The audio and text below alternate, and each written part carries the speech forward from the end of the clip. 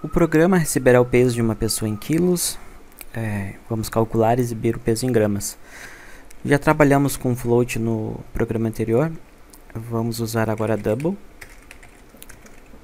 Poderia ser utilizado float, mas estamos aprendendo coisas novas. Utilizaremos double. Utilizaremos as variáveis quilos e gramas. Ok. Uh, vamos informar o usuário, né? Pedir para ele digitar. Digite o peso em quilos. scanf. Agora utilizando a máscara é, %LF, que é para double. Uh, o endereço vai ser quilos.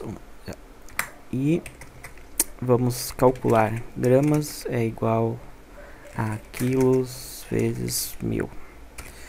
Assim converteremos quilos em gramas. E uma mensagem para exibir o resultado. O peso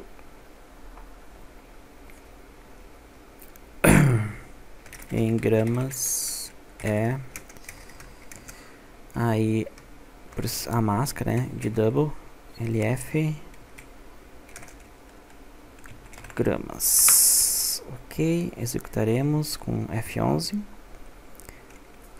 5 quilos 5 mil gramas ok vamos só corrigir então a formatação é colocar ponto zero para ele não exibir nenhuma casa depois da vírgula.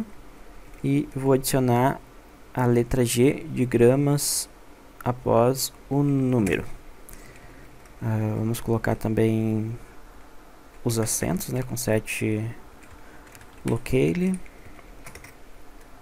uh, lc, underline.